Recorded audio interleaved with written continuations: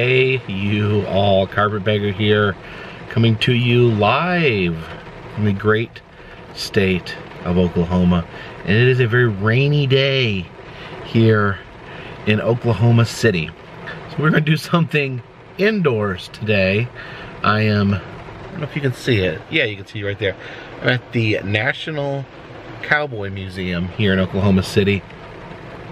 A, muse a museum dedicated to the cowboy, one of our most iconic figures here in America. And I know this um, Cowboy Museum recently received a little bit of uh, attention during the uh, pandemic because while they were locked down, their director of security, Tim, um, who's, you know, a, a, a, cowboy in his own right, um, took over the social media and did not ever no did not ever work with social media did not have social media of his own so he a learning process. And he and he asked for suggestions from the you hear that lightning. Asked for suggestions from the general public. Like like like sent out things like please uh, give me tips on how to use twitter. So very, it was a very charming experience. And i think some people got uh, you know a little bit of joy uh, talking to tim during during the uh, pandemic when, uh, you know, we definitely needed things to brighten our life. But anyways, I'm excited to check out the National Cowboy Museum. Not looking forward to running through the rain, but still, follow me.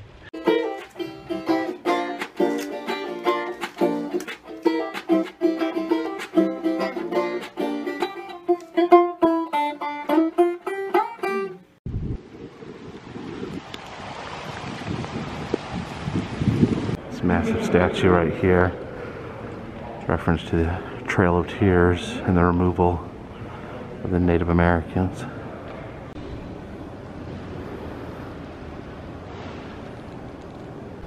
We have a statue of Ronald Reagan. He's got a cowboy hat. So I guess maybe he was a cowboy in certain ways.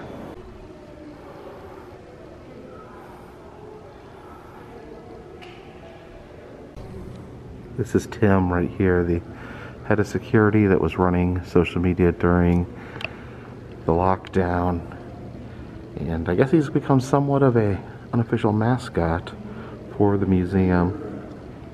You can see, I guess he was famous for using hashtag hashtag. He would spell out the word hashtag.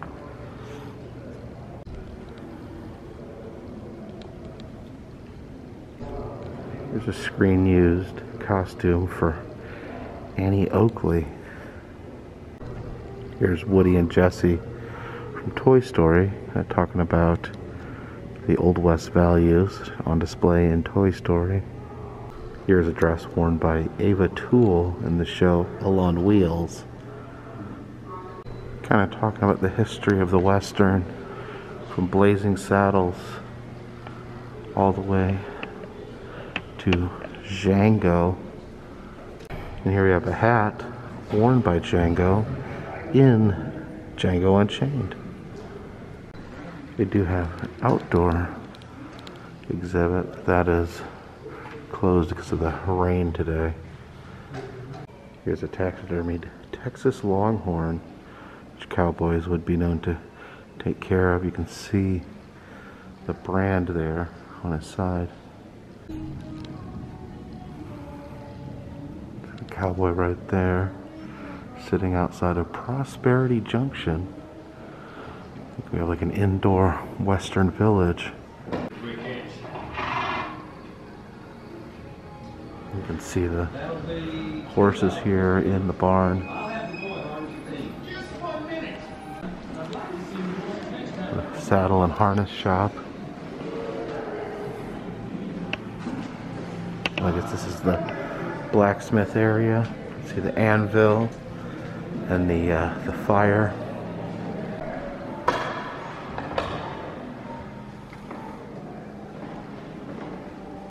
The Thompson house. Looks like this is maybe a hotel, yeah, restaurant, hotel. You can peek in the window there. You'll oh, see the cowboys are getting ready to sit down and have some tea.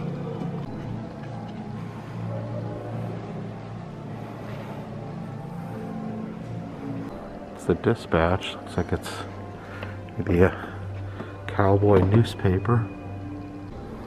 The Silver Dollar Saloon.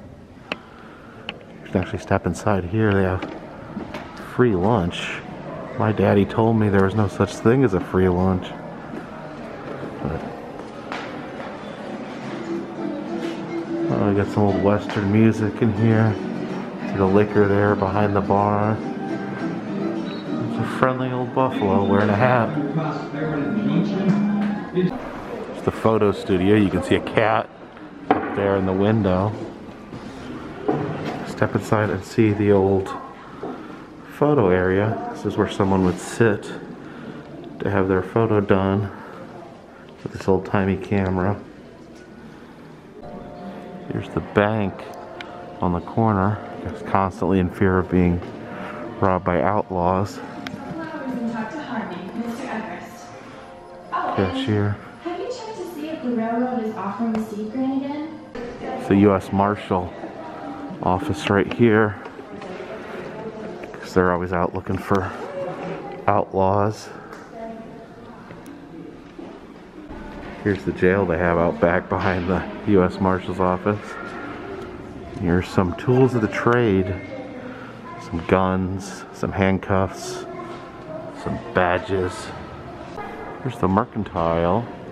You can stock up on various cowboy goods. Looks like they got their post office in there.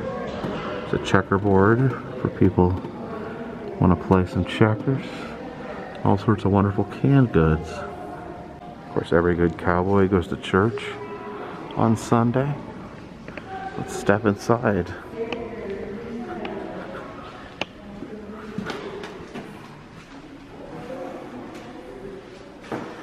There we go. See the pews. This old church organ. And the preach preacher would say, "Oh, sounds like church is starting." Here's the cowboy dentist's office. Gotta wonder at what level was uh, cowboy dentistry. This old schoolhouse right here. Can hear the voices.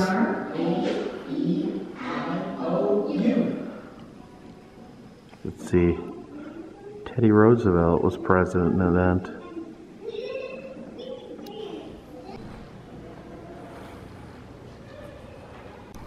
Tools of the trade, we see different lassos or lariats. And then there are some spurs, some horse bits. You can see on these horse heads right here. It's a neat little tableau here. See the cowboy right there on top of his horse. Talking about all the different cowboys and all the different parts of the country. This is actually a Hawaiian cowboy right there. Interesting, I never thought about Hawaiian cowboys. Here's a hacendado suit. Apparently these were popular in Mexico back in cowboy times. It almost looks like Elvis jumpsuit. You can see the flared feet there. Right here's an example of a California cowboy. You can see he's very stylish with his top hat. Almost looks like uh, his outfit almost looks like one of the three amigos.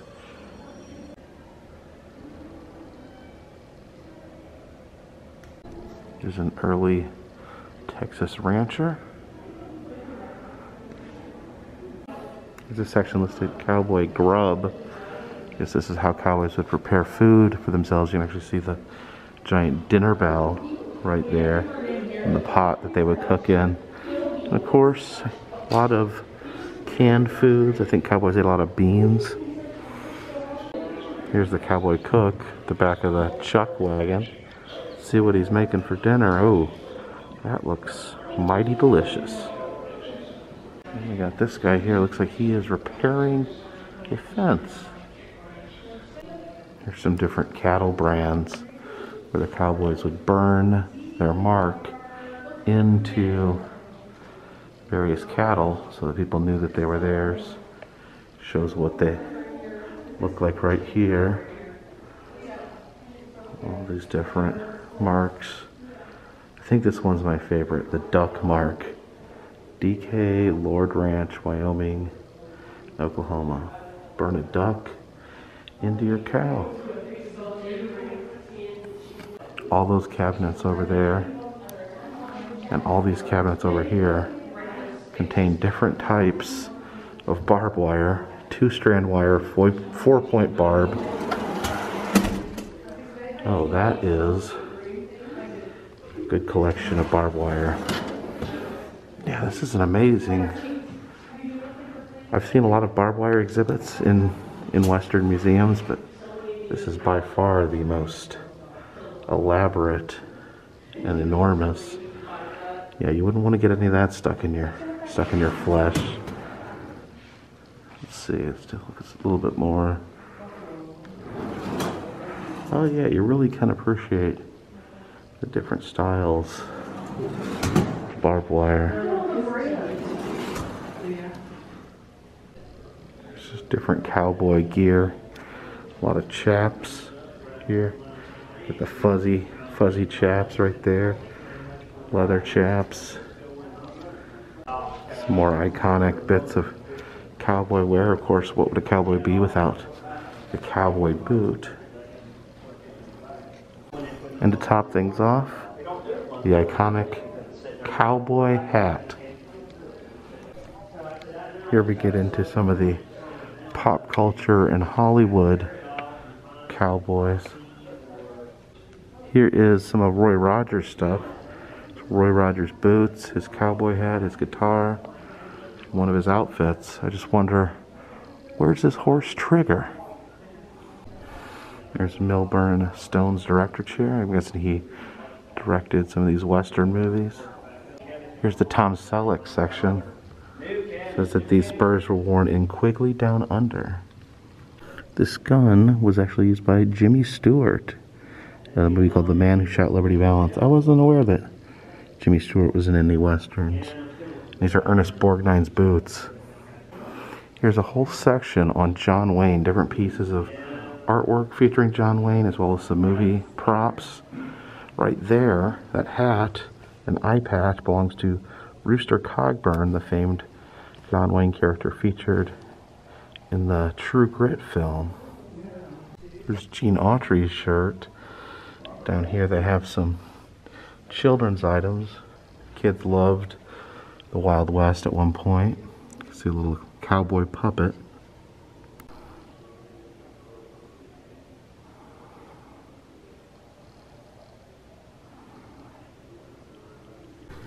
Here's Robert Redford's sequin cowboy suit from a film called The Electric Horseman.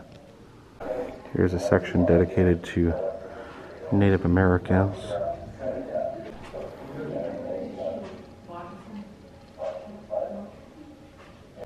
Various Native American pipes. There's some papooses used to carry Native American babies.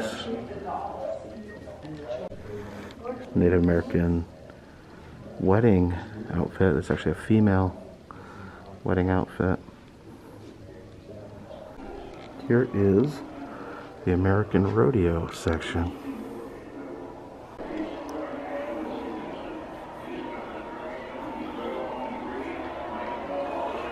Up there you can see the rodeo judges looking down on us.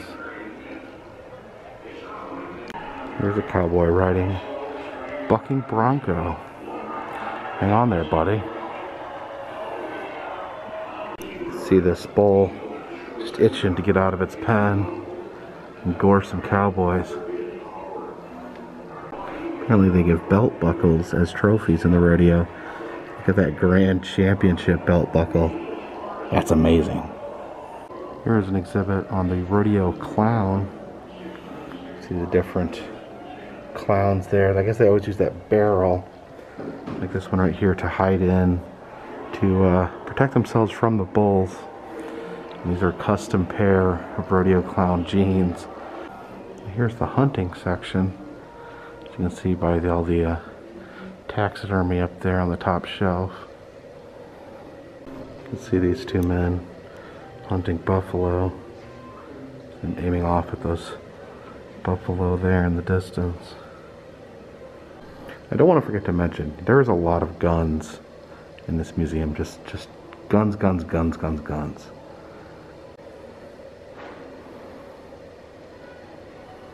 Oh, look at those two vicious bears right there. You know, one thing this museum is not lacking guns and saddles and guns.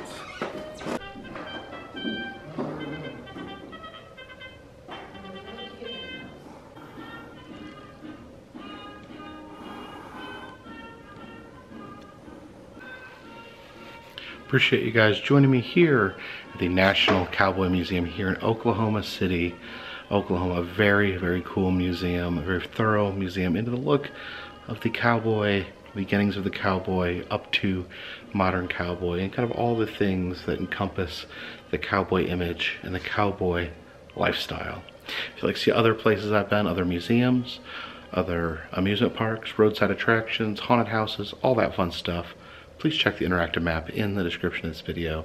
It'll show you where I've been and you can tell me where I need to go next. Also, if you'd like to help support the channel, consider buying an enamel pin in the Etsy shop. Consider donating to Patreon. A $3 or more donation will get you a postcard once a month. But until next time, this one's in the bag.